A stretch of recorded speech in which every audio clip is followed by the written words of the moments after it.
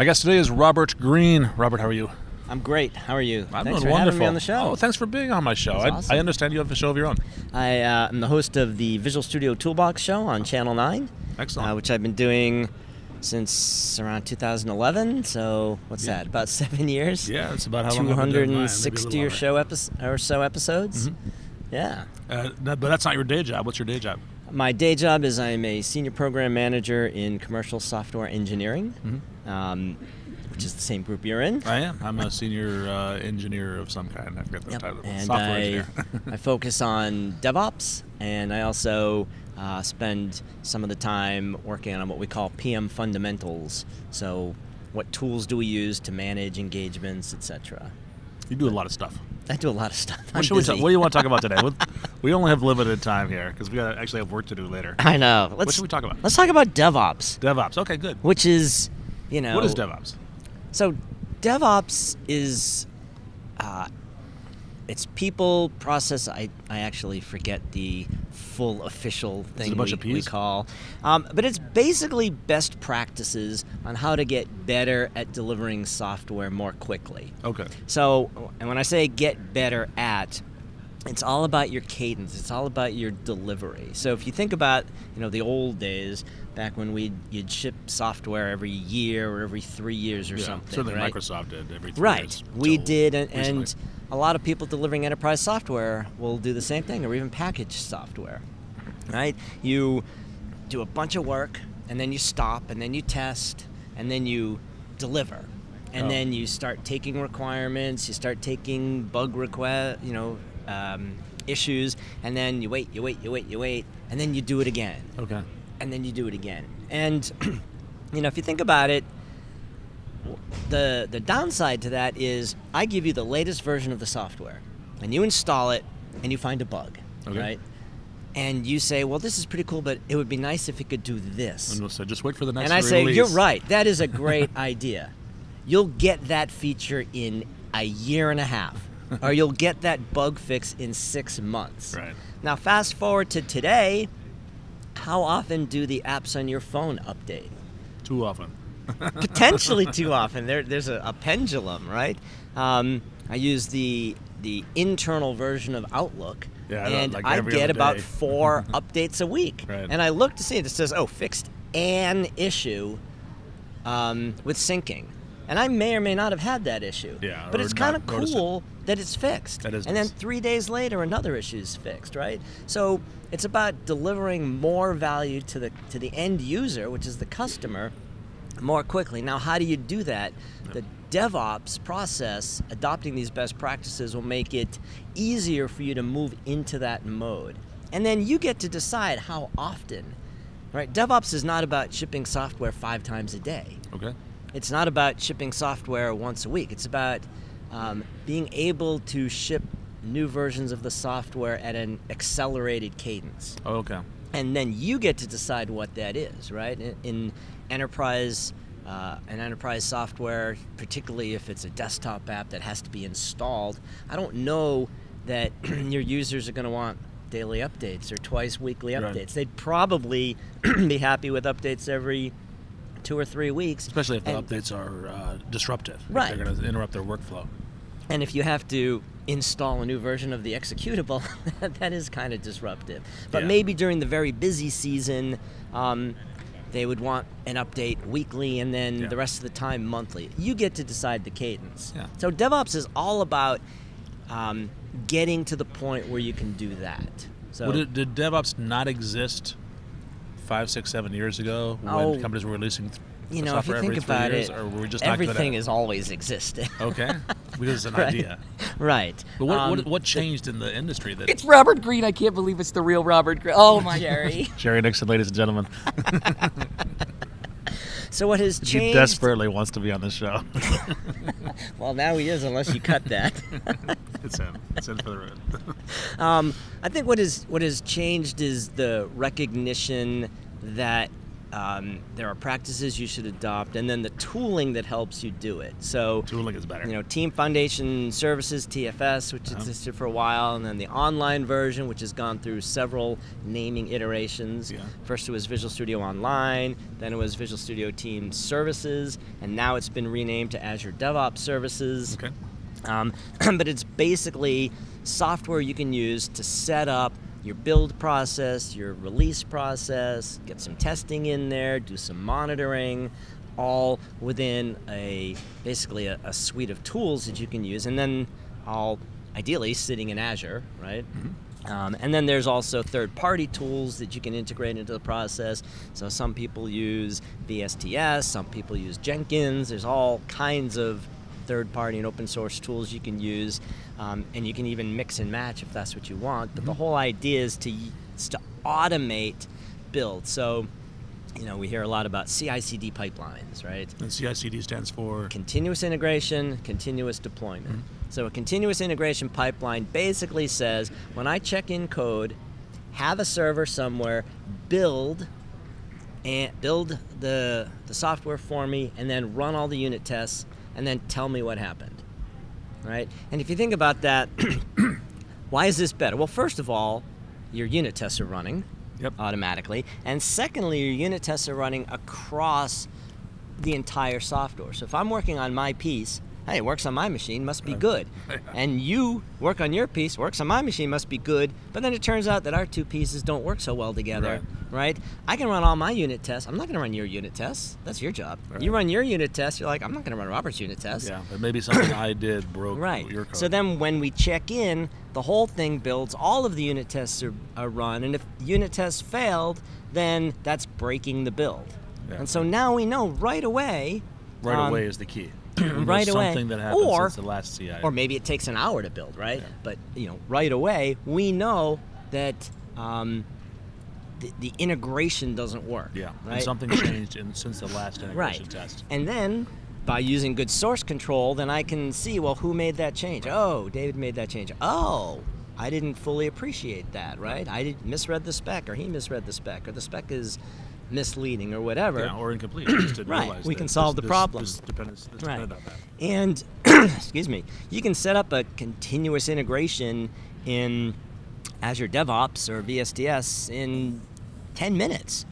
Now, the next thing, CD is continuous deployment, right? So we build this, the build works, and now we want to release it to testing, right? Then to production. We automate that process. You know, oh, of course, I can go into Visual Studio and right click and publish, but why do I have to do that? I build, I, I build locally, I check in, and then the server handles all of that for me after we've done the build and after we've ensured that the software is right. You can do it gated, so we'll release to testing, and then when the test team signs off, then it can be released to production. See, right now, we would have the ability to, to dramatically improve our ability to release more often just by automating these things that run um, on a server somewhere, whether it's on prems or in the cloud. Um, and then you can integrate unit testing and integration testing. You can do some monitoring, so we might want to know how often you know the, the service is up and running, whether it's a website or it's uh, some microservice sitting in, in a container somewhere. Okay. Um, and you can then also, as part of more advanced DevOps, is kind of control how you roll things out, right? So, you know, if it's just a web app, um, you've had the ability to kind of do these things. I create a new version of a web page, and then the next person that goes to the site gets the new version. Right. But there's also ways of kind of rolling it out to five percent or ten percent of the population, Make sure just to make sure they like it and that it works. And you can do this not only with web apps, but with services. You can do that with mobile apps as well. Uh-huh. So the whole thing about DevOps is to get you better at releasing more often at higher quality. So maybe that's why it was um, it was done so infrequently in the past is because it was very painful. Yes. And maybe this tooling and these new processes Right. that we're thinking of make it less painful. and it's it's really it's really easy to get started. Of course, like anything, to get really good at it takes a lot of time and practice Right. and thought. But if you just want to get better, Huh? you can do that really quickly very what, what would be the first step? Like, there's, I know, I, I was years of my consulting taught me that there are a lot of companies that aren't doing any DevOps. They're not Right. writing unit tests. They may not even have source control. What's what would be a good step for these folks? The good first step would be um, continuous integration. Okay. Source control would be the, the best Yeah, first step. okay. I mean, if you're not doing source control, then you really need to do that. Um, and then the next step is just continuous integration. Okay. So that when I when we check in code, goes to a server, the server builds, the server pulls the code out of the repository, right? Whether it's um, TFVC or Git, um, you know, works. Uh, we work great with both. Uh, I check in my code, a server builds, um, and then lets me know if the build worked. Okay. Right. Ideally, you'd also throw in some unit testing there. Yep. And just do that because now you're avoiding the situation of having to have your testers or even worse, learn in production that your code and my code don't work well together. Then the next thing you would do is start doing continuous deployment so that the manual process of getting this thing deployed um, is handled for you automatically. So I can work. You know, I gotta I gotta leave because I gotta I gotta get to the Mariners game at six o'clock, right? And I just finished my code. I check in. I'm done. I can go home. I don't have to stay to do the build. I don't have to stay to do the deployment. I don't have to do any of that ops stuff. right? I have a server do it for me. Nice. And if that's all you did, you would become better. Is it 5% better? Is it 25% better? Whatever, right? Now you're better, and now you can incrementally and at your leisure, and when it makes sense, adopt more and more practices. Um, and then start working on releasing more often. Once you get your basic CI CD pipeline set up, play around with releasing more frequently smaller bits of code, right? hey, so and so found a bug. Let's fix that bug. Mm-hmm.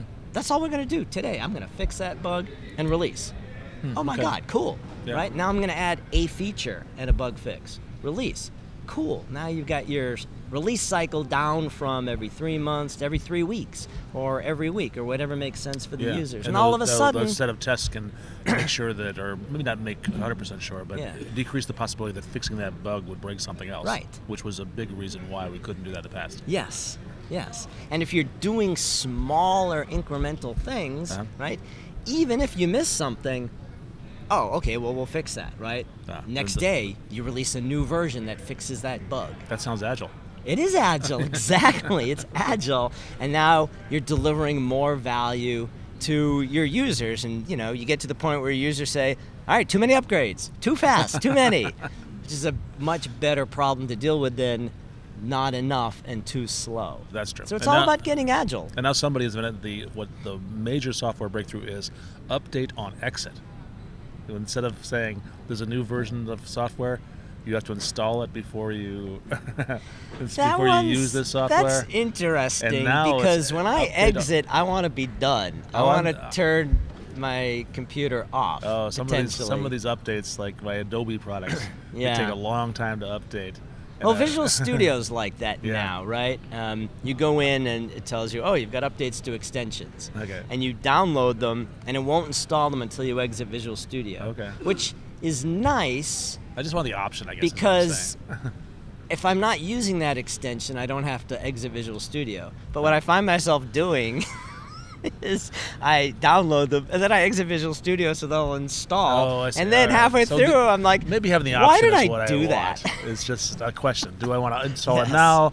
Do I want to wait uh, till I exit? Do I want to just defer it to some Right. indeterminate time in the future? That, Yeah. that sort of thing. Yeah. it's. Uh, I want to choose when that disruption occurs. exactly. Uh, that's just my rant. I, I've been experiencing. No, I agree with that. And that's that's the kind of thing that you would, you know, work with uh, your end customers on to the extent you can. Or you might even do A/B testing, right? Good point. The third floor, you got to install the updates on the way in, and the fourth floor, you install the updates on the way out, and then we'll see who's yelling the loudest. Okay, yeah. So uh, the uh, uh, everything. The nice thing is everything you talked about is capable within uh, Azure DevOps, formerly known as VSTS. Right. I mean, you could choose to use some other tools to that, but if Yep. you have Azure DevOps, And there are great golden for everything you talked tutorials on the doc site. I love saying this, right?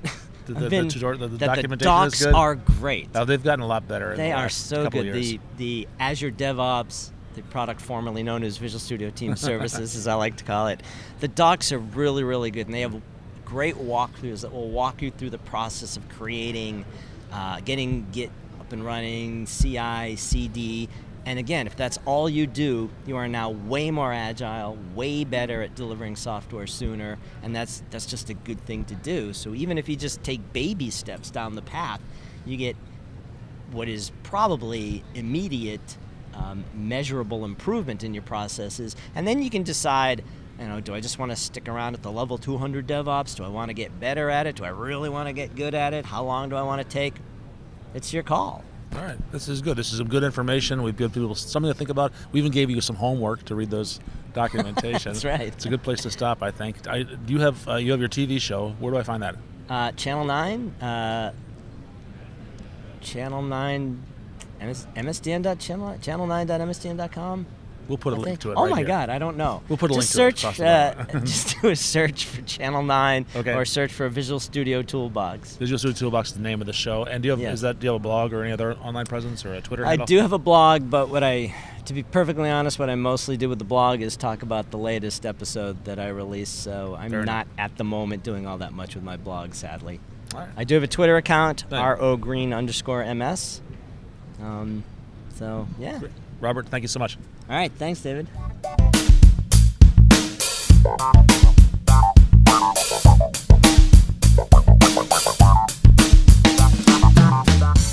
Thanks to the wonders of modern technology, I can say to all of my friends across the planet, go Red Sox.